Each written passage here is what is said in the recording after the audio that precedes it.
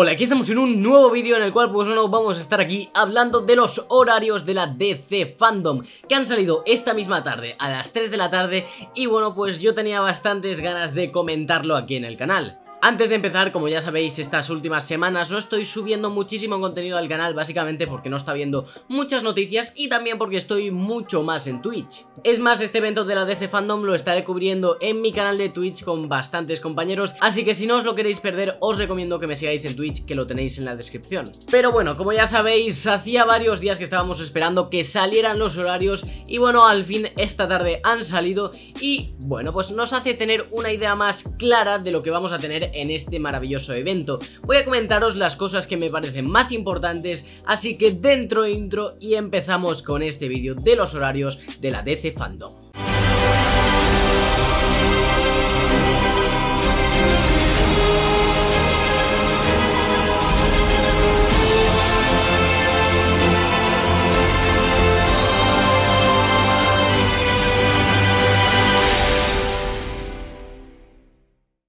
Hay mucha especulación de lo que se puede llegar a anunciar y de muchas cosas, pero tenemos muchísimas cosas confirmadas gracias a la salida de estos horarios de los paneles. Así que vamos con ello. Lo voy a comentar con esta foto que tenéis en pantalla de Club DC Spain ya que ellos han hecho esta foto bastante esclarecedora en la que organizan todos los paneles según el horario y sobre todo haciéndolo con los más importantes que incumben pues a DC en el cine y algunas cosas más, así que vamos a analizarlo. Como ya sabéis, la DC Fandom se va a organizar por islas, una isla es la Watchverse, una isla es la Hall of Heroes y bueno, la mayoría de estos paneles van a estar en esta isla, la de Hall of Heroes. En la página web de la DC Fandom te lo puedes ir organizando tal y como tú quieras, diciendo pues quiero ver este panel o quiero ver este otro. Por ejemplo, en la Watchverse van a estar sobre todo los paneles de la Roverso y este tipo de paneles. Pero bueno, vamos a ver qué nos trae este Hall of Heroes,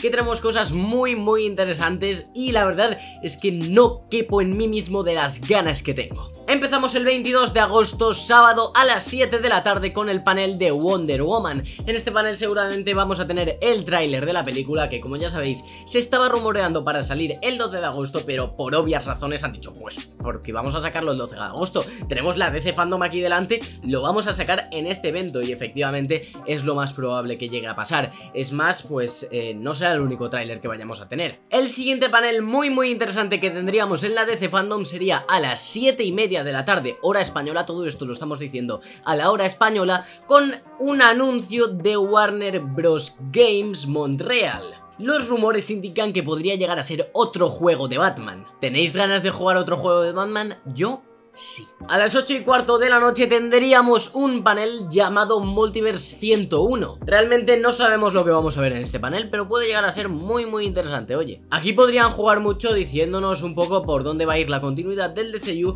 o incluso todas las tierras que podemos llegar a tener en este universo de DC. Es más, incluso imaginaos que tenemos de repente ahí a Michael Keaton, sería la verdad muy muy curioso. Y Michael Keaton se relacionaría también con el siguiente panel que es a las 8 y 45 que sería el panel de la película de The Flash, película en la que se rumoreaba que este actor estaría interpretando a su personaje.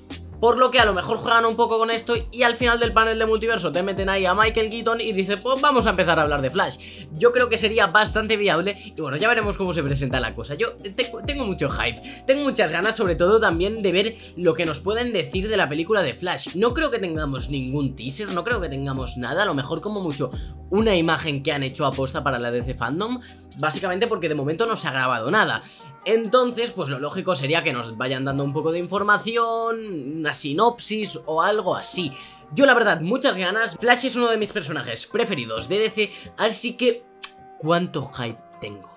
El siguiente panel que tendríamos sería el de The Suicide Squad a las 9 de la noche. El panel sería de la película de James Gunn y bueno pues aquí veremos un poco más y seguramente, seguramente lo más probable, lo que yo creo que tendremos sería un teaser de la película ya que bueno se han grabado muchas cosas, es más no sé si se ha grabado la película entera, creo que sí y bueno realmente es la única película que se ha ido trabajando más en pura cuarentena ya que lo tenían todo grabado y podían editar en casa. Yo creo que sí veremos un tráiler o por lo menos un mini avance. ¡Ojo! Tenemos a las 11 de la noche un panel sorpresa, no sabemos qué tendremos ahí y la verdad tengo muchas ganas de esto porque este, este aire a sorpresa, este aire a, nuevos anuncios, este genera hype, genera un hype terrible que te quema por dentro te... ¡Ah! Necesito ver eso ya, necesito saber qué nos van a contar en ese panel y bueno, podría ser un panel en el que anuncien alguna película, realmente no lo sabemos, a lo mejor nos presentan yo qué sé, ahí delante a Henry Cavill y a Ben Affleck y nuestra mente y nuestra cabeza hace un poco La verdad, no lo sé, pero voy con muchas ganas. El siguiente panel sería a las 11 y 45 y sería nada más y nada menos que el panel de la Zack Snyder's Justice League. Panel que yo creo que espera todo el mundo ya que es una película que ahora mismo sacas un mini teaser de 30 segundos y nada, explota internet. Tenemos ya confirmado que vamos a tener un tráiler de esta película, la Zack Snyder Justice League, y la verdad tengo unas ganas, unas ganas, unas ganas impresionantes, de verdad. Nos han dicho que en este panel pueden haber invitados sorpresa y quién sabe. Yo no digo nada, Henry Cavill, yo no digo nada, Ben Affleck, pero estaría muy guay que estuvieseis en ese panel. Ojo, algo que quiero mencionar aquí es que el panel que va antes de este, de la Zack Snyder's Justice League, es un panel sorpresa.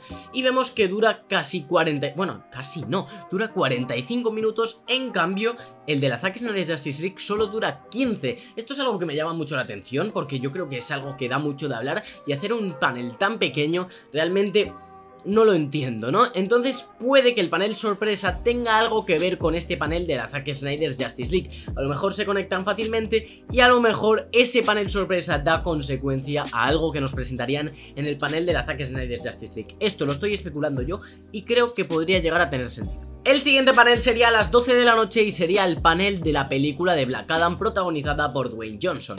Aquí probablemente nos cuenten algún que otro detalle de la película y yo creo que vamos a tener un primer vistazo al traje de Black Adam con Dwayne Johnson llevándolo puesto. Ojo, porque a las 12 y 45 tenemos un anuncio. No sabemos qué vamos a tener a esa hora, no sabemos qué nos van a anunciar, pero será un anuncio. Realmente muchas ganas, muchas ganas. Este anuncio podría ser de la David Ayers Cat de Suicide Squad, una Man of Steel 2 o incluso un proyecto con Batman de Ben Affleck. No lo sabemos, pero bueno, yo voy con mucho hype. A la una de la mañana tenemos el panel de Aquaman. Probablemente nos cuenten más detalles de Aquaman 2 y todo esto. A la una y media de la mañana tendremos el panel de Shazam. Seguramente harán un poco como en Aquaman y nos contarán algún que otro detalle de la segunda película de estos personajes.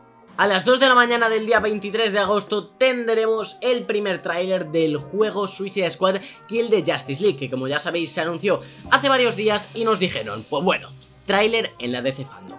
Muchas ganas, la verdad, muchas ganas y a ver qué nos presentan. Panel que esperará mucha gente es el que tendremos a las 2 y media de la madrugada y es que tendremos el panel de The Batman de Matt Reeves. La verdad, muchas ganas de ese panel, quiero que nos enseñen mucho más del traje, quiero que nos enseñen alguna cosita y probablemente, seguramente vamos a tener un teaser trailer de esta película, un teaser que, que nos dejaron ahí con las ganillas de tener más cosas y yo la verdad tengo bastante fe en esta película. Ya veremos qué nos traen, pero bueno, creo que puede llegar a ser una gran oportunidad para ver a Batman en pantalla. Y así, interesantillo, también tenemos un panel a las 8 y 45 de la mañana en el que tendremos otro anuncio, otro anuncio de otra película. La verdad, voy con un hype, es que no puedo, es que no puedo, Man of Steel 2, por favor. Pero bueno, esto ha sido todo, espero que os haya gustado este vídeo, si es así ya sabéis, un buen like y bueno, en los próximos vídeos os estaré trayendo lo que yo creo que podríamos llegar a esperar en la DC Fandom en cuanto a los anuncios. Así que si no te lo quieres perder, te recomiendo que te suscribas por aquí si no lo estás para no perderte este vídeo ni ningún otro vídeo del canal y por aquí tienes un vídeo que seguramente te interesará. Nos vemos en un próximo vídeo y que la fuerza os acompañe.